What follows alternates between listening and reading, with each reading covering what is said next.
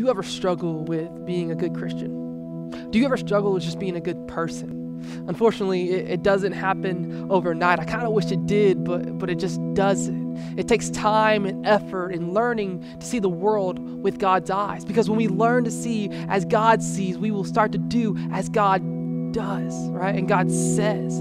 This guy named Paul, was a great Christian in the first century, tells us this in Romans chapter 12, verses 1 and 2. He says, Do not copy the behaviors and the customs of this world, but let God transform you into a new person by changing the way you think. Then you will learn to know God's will, which is good and pleasing and perfect. But what's that mean for you? Well, well, God wants us to be different from the world.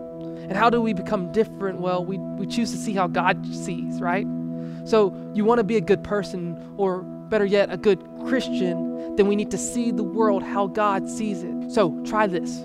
Go to your favorite Bible app on your phone and pick a devotional, any devotional, and set a, a timer on your phone or, or somewhere that you will see it every day. And then read that devotional. Make sure you, you take time and meditate on God's word because learning how to see the world the way God sees it will help you do what God says.